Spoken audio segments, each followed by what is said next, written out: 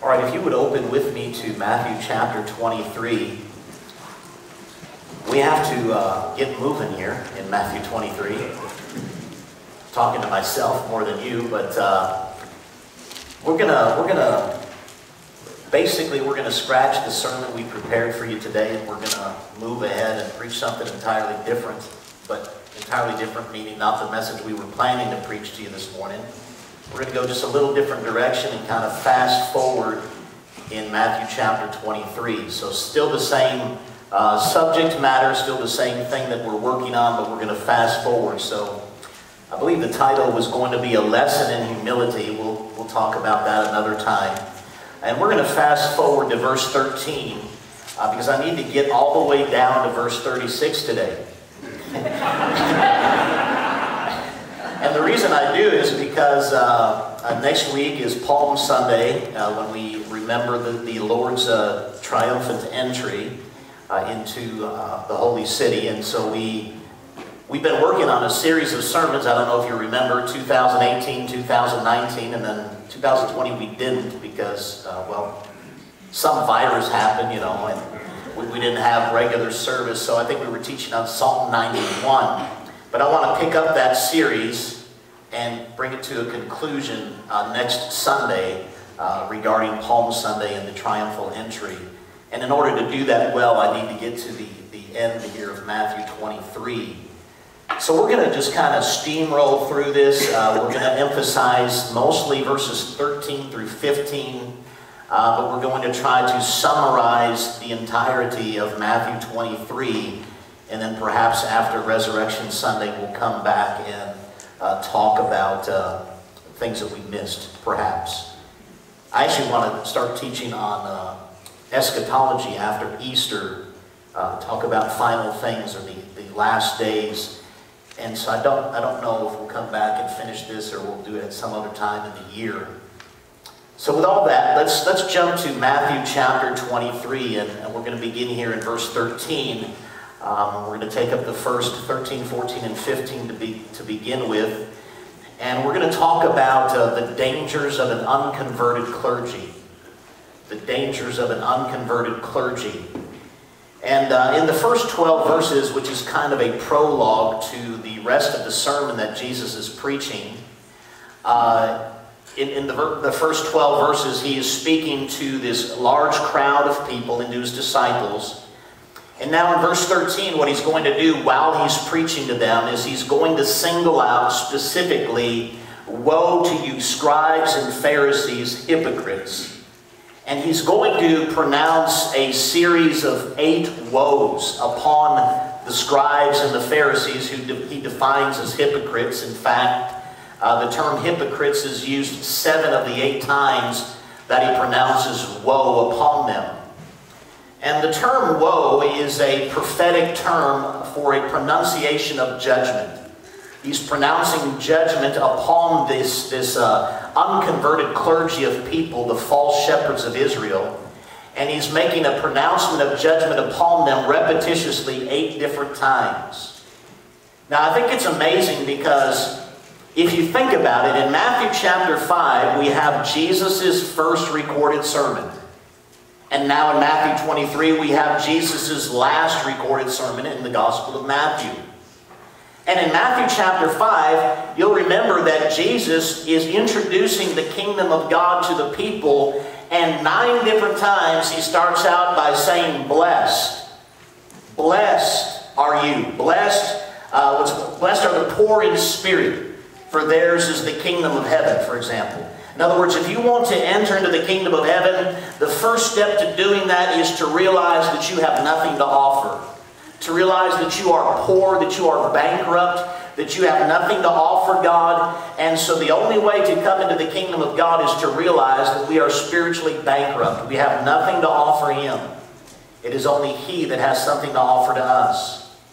But he started out with uh, nine pronunciations of blessing, blessed, blessed, blessed and we call it the Beatitudes, right? And he gives these blessings, these pronunciations of blessing upon the people as he announces the kingdom. And you'll find out in, in prophetic writings and prophetic preachings throughout the Old Testament the prophets had basically two courses of action, two types of prophecy, two types of oracles. They had the prophecies of blessing, of prosperity, of wellness, of good news. But then they also had the pronunciation or the prophecy, the, the oracle of doom, of judgment, of destruction, of death that, was, that would be coming to them. So you have these two forms. And so when Jesus steps out, he begins his ministry by saying, blessed, blessed, blessed, pronunciations of blessing. And then at the end of the ministry, instead of pronunciations of blessing, they had rejected the king, they had rejected the kingdom of God, and now he's pronouncing woe upon those who had rejected the king and the kingdom of God. And now, after going from a series of blessings and pronunciations of blessing, now he's going to a series of pronunciations of doom. It, it would be very similar to us saying, you know, because we don't use the word woe today. Uh, the, the word woe would be like saying damn you or be damned. Seems I remember a preacher saying something like that a few weeks ago. I could be mistaken, right? right? That, that would be what it would be like today. That, that would kind of give us uh, some, some understanding in our modern vernacular. But when Jesus or any of these prophets pronounce doom or judgment, it is not a matter of uh, wishing that it would happen or hoping that it would happen or maybe it'll happen. No, it is a declaration that it indeed is going to happen. It is factual. And if we were to follow this through and, and follow the historical record, we know that by 70 AD, uh, Israel was destroyed, that Jerusalem was trampled underfoot, and the judgments that Jesus pronounced upon these Pharisees did indeed come to pass. The woe judgments did come to happen. And uh, we, have other examples to try to illustrate the significance of this word woe and the severity of the tone that Jesus is using. You can tell how Jesus is preaching uh, this message, the tone of it, by, by hearing the words that he's using. I mean, he calls these people hypocrites seven times. He calls them sons of hell. He tells them, how can you escape the condemnation of hell? He says, when you make, you travel land and sea, to make one convert, one proselyte, and when you do, you make them twofold a child of hell as yourself. Uh, he says, you don't allow people to enter the kingdom of God, and neither do you go into the kingdom of God. Uh, you can tell, he calls them blind five times. He calls them fools twice. The word fools is, is where we get the word moron from, which means stupid or foolish. And uh, he, he's being very direct, very uh, concise and clear about what he's saying. When, when you hear Jesus preach, you never leave wondering, I wonder what he meant. Jesus is very direct, very clear, and truth is very much that way. Truth is black and white. There's, there's not any gray area with truth. And so that's how Jesus is preaching. He's preaching a series of woes, these pronunciations of judgment. And to illustrate the significance of this, uh, for example, in the, uh, to, to show you how the Old Testament prophets would use it, you have Isaiah the prophet in chapter 5. And we're most familiar, I think we all are familiar with this verse. I know I've preached from it here before.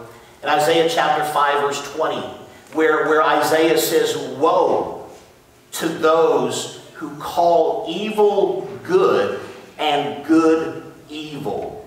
And he goes on to, to, to continue that thought, and he says, Who put uh, darkness for light and light for darkness, who put bitter for sweet and sweet for bitter. Woe to people that call evil good and good evil, right? When, when, we, when we live in a society that is postmodern or post-truth, right? That there's no truth.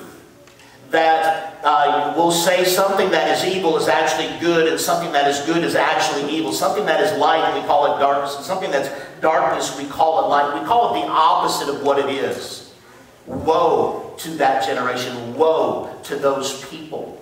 But in Isaiah 5, if you were to read the, the whole chapter, I think you started around, uh, I think it's verse 8 through verse 30, you'll see seven pronunciations of woe. woe, just like Jesus right here, woe, woe, woe. Well, in Isaiah, woe, woe, woe, several different times. And he ends that prophecy by, you can see that God is saying that he's raising up nations around them that would come into their nation, destroy their nation, and carry them away captive. And that's what Jesus is doing here. Um, another example of this, if we fast forward to use an example from uh, the book of Revelation. In Revelation chapter 8, verse 13, uh, it's talking about the, uh, the series of trumpets. There's uh, seven seals, seven trumpets, seven bowls. And these are the judgments of God upon the earth. And you'll remember that uh, these seven trumpets, the first trumpet, a, when the, the first trumpet is blown by an angel, that a third of the trees and grass, in other words, the vegetation, a third of the vegetation is destroyed. And then the second trumpet blows and a third of the seas are destroyed. And all a third of the uh, creatures, the sea creatures that live within the sea are destroyed.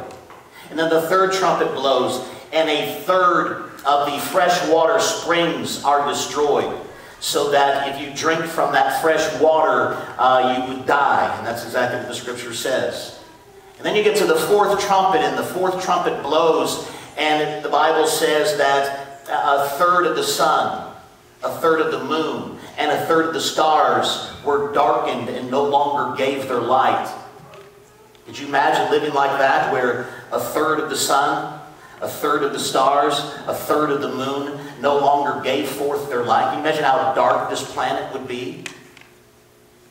And that's the fourth trumpet. And after the fourth trumpet, the Bible says that an angel will fly through the heavens, fly through the air. And he's going to cry with a loud voice, Woe, woe, woe to the inhabitants of the earth. And he goes on to say the reason why he's crying, woe, woe, woe, to the inhabitants of the earth is because of the next three trumpets that are to be blown. Because by the time you get to the sixth trumpet being blown, a third of humanity is destroyed. We thought 2020 was bad. As they say, you haven't seen anything yet. Right? And even Jesus backing up to, uh, to that fourth uh, trumpet, you'll remember that even Jesus in Matthew 24 talks about one of the signs prior to his coming, prior to his second advent, is that the sun would be darkened the moon would not give forth its light, and that the stars would fall from heaven. No, it's just going to be a dark planet. It's going to be a dark earth. And then when you see Christ come and break through the eastern sky, it's going to show up amazingly because everything's going to be black, dark. And uh, that's, that's the future. That's what is going to come. And it shows you, the reason I use that is to illustrate the, the, the effect or the importance of this word woe. You don't say woe casually. So for Jesus to make these eight pronunciations of woe indicates the coming judgment that is upon uh, the religious leaders, the religious elite of his day. So he says in verse 13, But woe to you scribes and Pharisees, hypocrites. Now, again, he says this phrase seven times within this passage. Now, the reason that's important is because He's going to give us the reasons for the woe. Why is he saying woe this many times? Just like Isaiah did the same thing. He gave the reasons for the woe. The reasons why the judgments were being pronounced. Jesus is going to give the reasons for the woes, okay? But in that, he says hypocrite seven times. I think that's important because, as we discovered before, what does the word hypocrite mean? acting, right? It's an actor. A hypocrite is an actor, a pretender, a giver of false impressions. And so what he's saying is, to the, to the naked eye, you can't necessarily see these things in the scribes and Pharisees because it's shrouded, their darkness is shrouded in hypocrisy in pretension, in falsehood, in, in acting out. That they have, we've talked about this before, right? when we talked about the church of Sardis, the dead church, They had a name that they were alive, Jesus said, but they were dead. Right? They looked alive outwardly. They had a good name, a good reputation, a good reputation in the community. But Jesus called them dead spiritually. So they're hypocrites. This, they're, they're, the danger of them is shrouded in their acting, their pretending. Uh, it's shrouded in hypocrisy. Notice the first thing he says, the first reason why he pronounces woe upon them, for, or because you could say, you shut up the kingdom of heaven against men, for you neither go in yourselves, nor do you allow those who are entering to go in. Now I want you to notice three words in this verse. Shut, allow, and entering. The image that Jesus is giving us is that the sheep of Israel, if you will, the children of Israel, are coming in this direction. They're trying to enter. They're trying to go in. They're trying to, to, to know Christ, to follow Him. And in the process of them coming to try to enter, to go in, these scribes, Pharisees, and hypocrites were shutting the door in their face. That, again, the danger of an unconverted clergy and the reason for the first woe is because they do not allow people to go to heaven. They block their path to heaven. These are people that are shutting the door of salvation and opening the door to damnation. Jesus says very clearly to them um, that you shut up the kingdom of heaven against men, for you neither go in yourselves. They're not going to heaven, and then watch this, nor do you allow those who are entering to go in. You know, I, I was thinking about it. How many people are going to hell today, and they're going to hell today because they're following a false spiritual leader.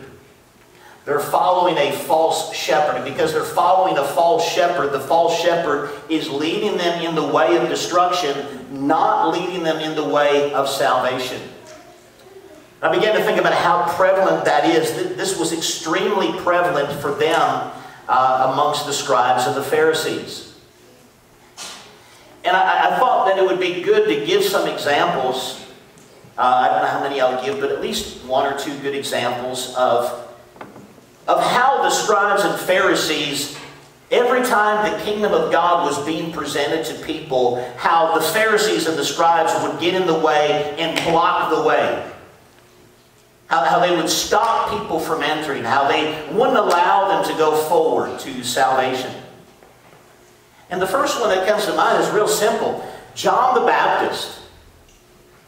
Now, now we know John the Baptist comes on the scene after 400 years. You got to remember there's 400 years of silence. You, you got to put yourself in that time to imagine the, the wonder of what it was like to have John the Baptist come about. 400 years of silence. There's been no word from God. There's no prophet from the Lord. There, there's no revelation coming from heaven anymore. And they're getting, uh, this is when the Pharisees came into power and prominence. There was no word from God, and these guys became, you know, their own self-appointed messengers. So one day, after 400 years of this silence, then here comes John the Baptist, the first prophet in these 400 years. And when he arrives, he, he's out in the, the wilderness, he's out in the desert. He's not in the city. He's a peculiar fellow. Not only does he live out in the, the wilderness or the, the desert, uh, he dresses in a camel coat and a leather belt. He, eat lo he eats locusts and wild honey. He's kind of a strange guy. When you get out to hear him preach, um, instead of telling you something you might would like to hear, he tells you to repent, for the kingdom of heaven is at hand. At hand just meaning nearby. It's right here. It's in your grasp. Repent, for the kingdom of heaven is at hand and he's baptizing people in the River Jordan. And the Bible says in Matthew chapter 3 that they're confessing their sins. So when you would go hear John preach, John's preaching repentance, he's preaching baptism, and people are there confessing their sins. When you went out to hear John preach, you didn't hear John preach about seven ways to a successful marriage or three ways to, to build the life of your dreams. You hear John the Baptist preaching a message of repentance, a message of baptism, a message of uh, confession of sin. In other words, he, he defies all logic, all norms. Would you start a ministry in the desert? Do you realize that, that, that roughly where John the Baptist was baptizing people in the River Jordan, it was, it was said by Josephus, the Jewish historian, that it was 18 miles. The road from Jerusalem to Jericho was 18 miles. And then where John the Baptist was doing baptism was about another five miles beyond that. So about 23 miles. Who starts a ministry 23 miles out in the desert? from civilization, if you will. Who does that? And, and I want you to think about the sacrifice that these people had to make. I mean, they didn't jump in their car and just drive 23 miles and go be baptized and head back home. If you went there, how long would it take you to walk 20 some odd miles?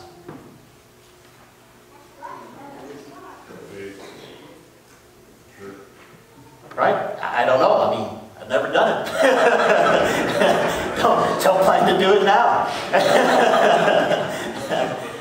right? There was a commitment. There was it wasn't convenient. Uh, he, John didn't put himself in Jerusalem in a convenient location where everybody could just come.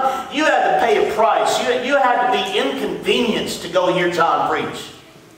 And then when he got out there after all that inconvenience, he's going to yell at you, repent.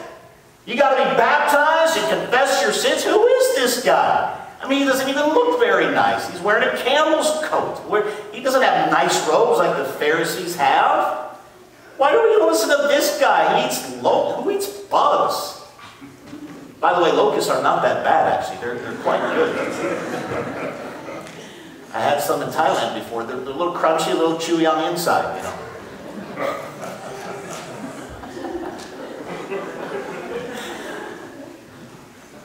But the legs are really good.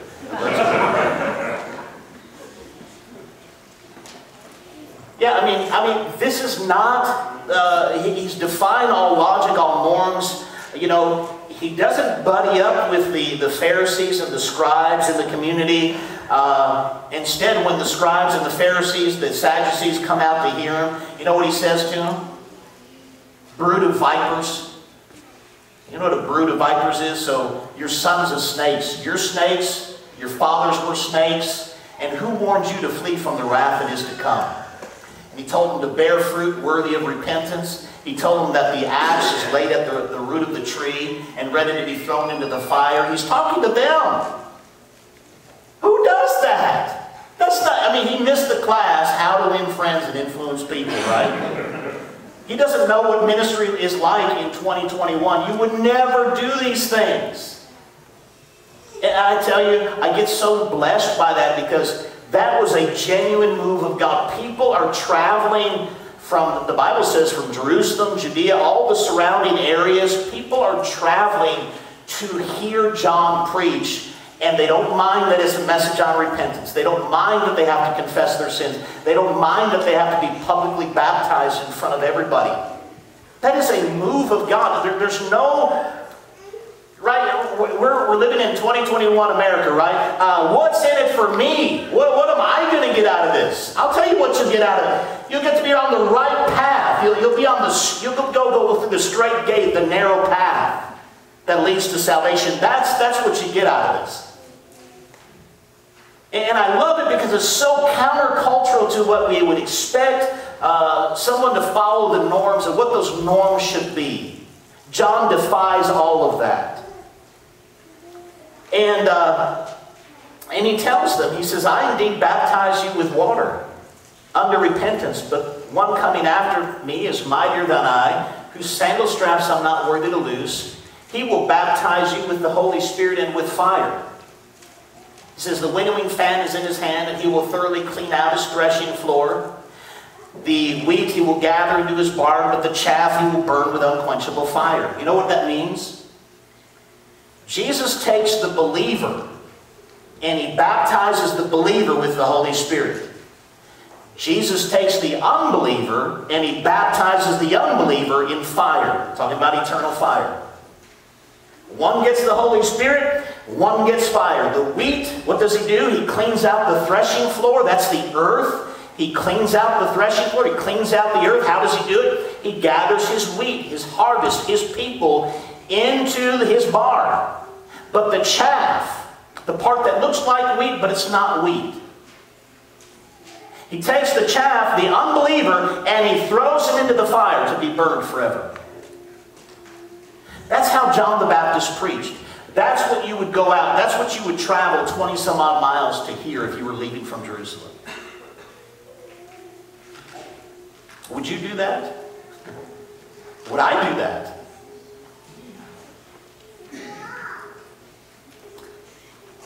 That, my friend, is a real move of God. When we, we can see that type of thing happen and people love the truth to that degree that they, they don't mind being told that they have to repent. They don't mind that they have to confess their sins. They don't mind that they have to be publicly baptized. They don't mind that they make a public confession of faith in Christ. But you know what happens? Well, after that, of course, Jesus comes to be baptized. John the Baptist baptizes Jesus. And then Jesus is led by the Spirit into the wilderness to be te tempted by the devil for 40 days. You know what happens after that? Jesus comes back in uh, verse 12 of Matthew chapter 4. Says that Jesus had heard that John had been arrested, been imprisoned. So somewhere between those 40 days that Jesus was gone in the spirit, in, in the, uh, excuse me, led by the Spirit into the wilderness to be tested by the devil, uh, somewhere in those 40 days, John gets arrested. Now, why would he get arrested, right? I mean, what is, was it something he said? was it something he said that offended somebody in leadership that they didn't like and they said, we're going to arrest this guy? Yeah.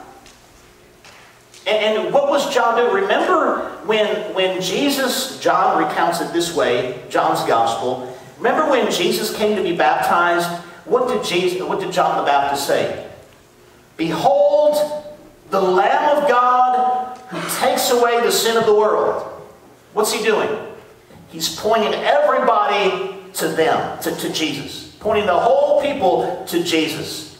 In fact, later in John's Gospel as well, we see that, uh, that uh, John the Baptist tells his disciples to go follow Jesus. John the Baptist is the one that says that uh, he must increase and I must decrease. I must be less visible, he must be more visible. In other words, what was John the Baptist doing? He wasn't gaining converts to himself, he was gaining converts to Christ.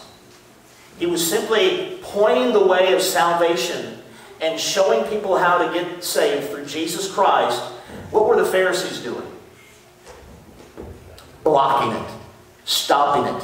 Throw that man in jail. Let's, let's, and again, what were the Pharisees doing? We talked about this three weeks ago. What, what did they do? They made converts to their sect, to their denomination, to their religion. They, they, didn't, they didn't make converts to Christ, they made converts to their own sect. In other words, in their view, you weren't saved unless you were part of their little group. But John the Baptist was not like that. He was a door opener, not a door closer. He was opening the door to the kingdom of heaven, not closing the door in people's face. And then if you follow all through Jesus' ministry, all through the early church's ministry in the book of Acts, guess what you see? The Pharisees constantly obstructing the message of Christ. Whether it was Paul preaching it, whether it was Peter preaching it, whether it was John preaching it, whether it was Jesus preaching it, constantly obstructing the way of salvation that was being preached through them. My friend, find yourself a door opener, not a door closer. Find someone that's opening the door of salvation to people, not somebody that's closing the door of salvation in people's faces. So, number one reason why the woe. Woe because out of heaven. They keep people out of the kingdom of heaven. Verse 14 Woe to you, scribes and Pharisees, hypocrites! For you devour widows' houses, and for pretense make long prayers, therefore you receive the greater condemnation. Um, here's the second woe. And we're going to speed up right here, right now, okay? I got to get to verse 36, so this is just going to be steamrolling, all right? You ready? So, point number two. Point number two. Woe number two is this. Um, they are uh, pretentious about their devotion to God. And they take advantage of the weak, right? They take advantage of the widows. They take advantage of the widows for pretense to make long prayers. In other words, their devotion to God is pretentious. It's fake. The only time they pray is when they're in public. They don't pray in private. The only time they spend time in the Word is when they're public and not when they're private. Uh, verse 15, Woe to you, scribes and Pharisees, hypocrites. Here's the third woe. For you travel land and sea to win one proselyte, and when he is won, you make him twice as much a son of hell as yourselves. The third woe is because when they make converts, again, they make converts to their sect, or what we would call a denomination. They make converts to their denomination, right? Um, this is not uncommon today, right? We, we, um, you, will hear people say, I'm going to pick on the Catholics just because uh, it's easy. So, um, you know, you, you got, well, I was baptized a Catholic. I was catechized a Catholic. I was confirmed a Catholic. And their identity is not around Christ and what Christ has done, but their faith is in the process that they've gone through, the sacraments of the church, not in Christ. Right? And that's the danger, right? When we start to identify with a movement or with a denomination or with a sect and our identity is not in Christ or being a Christ follower or a disciple of Christ, that is a real problem. That's why, you know, I've, I've you know, ministered to people that are close to death, obviously, being in the ministry. And one thing that you'll find, you know, whether they were Roman Catholic, whether they were Lutherans, whether they were Protestant of some sort, what you'll find time and time again is if they were a person that is standing on, well, I was confirmed this, I was baptized this, I'm catechized in this, they have no security of their salvation. They have no idea where, where they're going when they die. None. Because all their life, their faith has been in the church, not in Christ. And that's exactly what the problem here was with the Pharisees. Uh, if you didn't convert to Phariseeism, you were outside the kingdom in, in their view. So when you make converts to that type of mentality, you turn them out to be twice as bad as you. It, it's sort of like, uh, it's sort of like when you, when you make it, uh, on the positive side now, when you make a new convert to Christ, and they didn't, they didn't grow up in church, they didn't know the Lord, they didn't go to, to, to, to, to uh, you know, they didn't receive any training in Christ or the Bible or Scriptures, and they lived a bad life, a sinful life, and they come to Christ. Most often, those people are your most zealous for preaching the gospel. They're the most zealous about teaching the word. They're the most zealous about evangelism and outreach. People that grew up in church and they've been around it their whole life, a lot of times they're not as zealous about it. But you get a new convert that didn't know the Lord and now he knows the Lord and light bulb has gone on. Woo! You know, and they're all they're all about it. Let's let's move. Let's let's get going. We got a world to save, you know, and, and that, that's the mentality.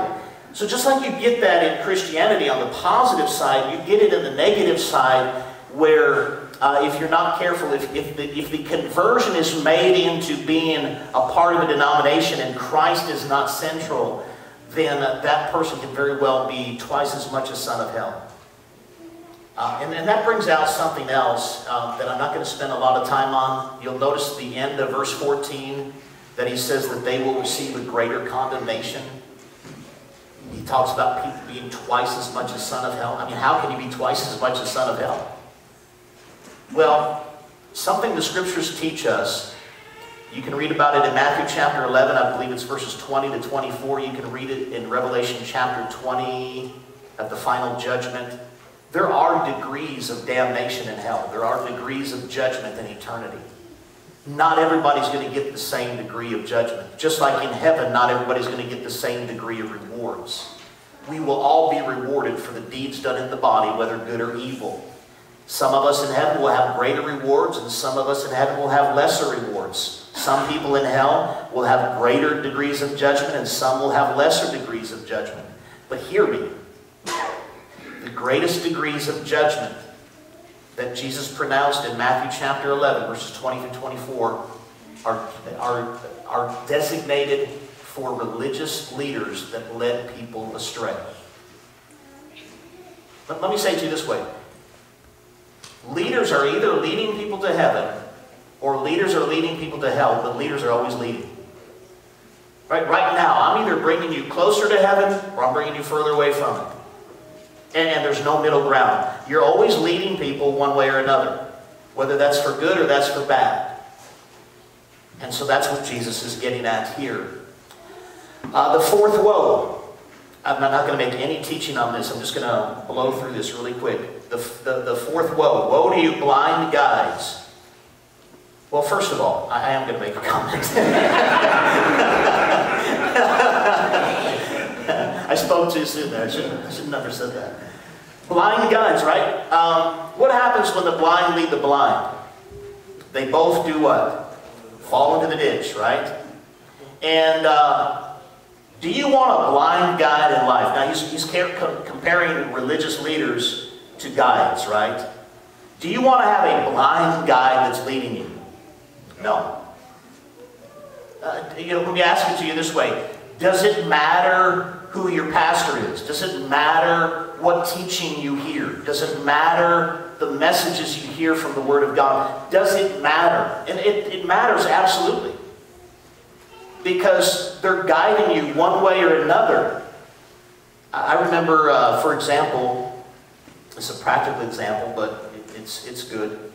Um, you know, doing missionary work, I, I would uh, work with natives, locals, right, mostly. And uh, I didn't, so there wasn't a lot of uh, people with me from, from here. So doing that, you're always being led around by guides that you don't know where you are. I mean, I have no idea where I am. And you're relying 100% on your guide who is a native speaker and understands the language. You're, you're relying on them to get you from one place to another because if they left you, you wouldn't even know where to go. I remember this one time in Korea, I was staying in, uh, I don't even remember the name of the place, to be honest with you. I kept a business card. This will show you how I didn't know anything where I was. I had a business card in my pocket with the uh, address and location of where I was in Korean. In that writing, I couldn't read it. It was in Korean language. And I'm with my Korean guide, this pastor that's guiding me from point A to point B, and he gets lost. Now, all the signs are in Korean, everybody speaks Korean. Now, if he's lost, what does that say about me? I'm doubly lost, right? I mean, it is the blind leading the blind, and we're both falling in the ditch. We were lost for like 15 minutes. And, and, and sometimes you would get lost and you would have to like just kind of like point at a sign and try to, you know, get people to understand you by just, you know, uh, mannerisms and so on and so forth. But yeah, you don't want to have a blind guide. You don't want to have someone leading you that doesn't know where they're going. And it's so essential, so important that what type of teaching you expose yourself to, what type of preaching you hear on a regular basis, because it affects, even as Jesus said earlier, it can affect your eternal destiny. It can affect whether you're uh, a sincere Christian or a fraud. It can affect whether you have sincere faith or not. It can affect whether you're a hypocrite or not. It can affect all of those things. So the, the next woe is that they made, uh, if you were to read this, verse 16 to 22, they made up an elaborate system of oaths and vows by which they could get out of keeping their word. And Jesus basically says to that in Matthew chapter 5, let your yes be yes and your no be no. Everything else is from the wicked one or the evil one. So, verse 23, Woe to you scribes and Pharisees, hypocrites, for you pay tithe of mint and anise and cumin and have neglected the weightier matters of the law, justice, mercy, faith, these you ought to have done without leaving the others undone. Blind guides who strain out a gnat and swallow a camel. The next woe is because they major on minors. They emphasize the little things and they don't emphasize the big things. Okay? Woe to you, scribes and Pharisees, hypocrites, for you cleanse the outside of the cup and dish, but inside they're full of extortion and self-indulgence. Blind Pharisee, first cleanse the inside of the cup and dish, that you that the outside of them may be clean also. He's going to say the same thing in verses 27 and 28. Um, his woe here is that uh, don't be outwardly righteous, but inwardly not. Be inwardly righteous, and then you will be outwardly righteous. And then lastly, woe, verse 29. Again, verse 27, 28 is, is a carryover. It, it is another woe, but it's the same thing that he's talking about, the same point. Verse 29, Woe to you, scribes and Pharisees, hypocrites! Because you build the tombs of the prophets and adorn the monuments of the righteous and say, If we had lived in the days of our fathers, we would not have been partakers with them in the blood of the prophets. Therefore, you are witnesses against yourselves that you are sons of those who murdered the prophets. Fill up then the measure of your father's guilt. Serpents, brood of vipers, how can you escape the condemnation of hell? This last woe is this. Their fathers killed the prophets they are going to kill the one whom the prophets prophesied about. They're going to kill the Messiah. So I'm going to leave you there with that, right? I mean, the rest is just a, a Jesus speaking how he's going to send uh, preachers to them and they're going to kill them, they're going to persecute them, they're going to crucify them, they're going to do all these things, and that's exactly what they did. All throughout that first century church, they just persecuted them left and right. And then um, he pronounces again judgment upon them.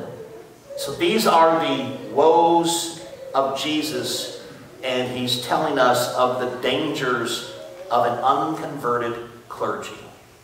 The dangers. Now, yeah, do we even think in terms of that even being possible? Do we even think that it's possible to have unconverted clergy? Clergy that are not saved? that preach the Bible, but they don't believe the Bible. I mean, most of us have probably the thoughts never entered our minds. But Jesus speaks to this very fact that there are indeed unconverted clergy. I know people that have gone into the ministry, hear me, that do not believe that Jesus Christ is the only way of salvation.